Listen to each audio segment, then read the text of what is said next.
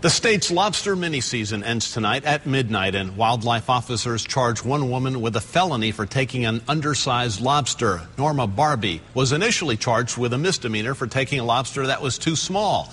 While officers were inspecting her uh, boat at the Burt Reynolds boat ramp in Jupiter, they say she took the small lobster and threw it back into the water. That upped the charges to destroying evidence.